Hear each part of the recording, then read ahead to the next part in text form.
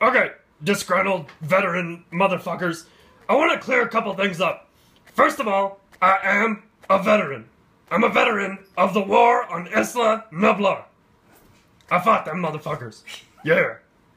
Now, I was recently contacted by one of your admins who has identified himself as being called Recoil.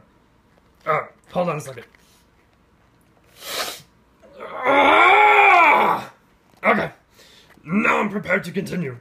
So, this fucking Recoil guy uh, contacted me and was complaining about my personality. About how it's like harmful and shit. So, I got a little bit of a problem with this fucking Recoil guy.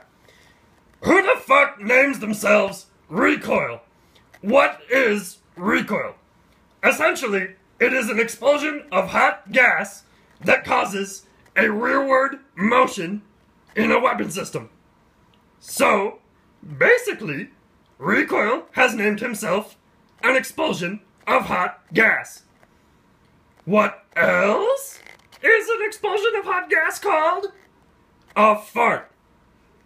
That's right, Recoil motherfucker. Your name is Fart. And I hereby vote that we, as the disgruntled nation, change this recoil motherfucker's name to Fart. That's right. DV Fart. That's your name now, bitch. You happy?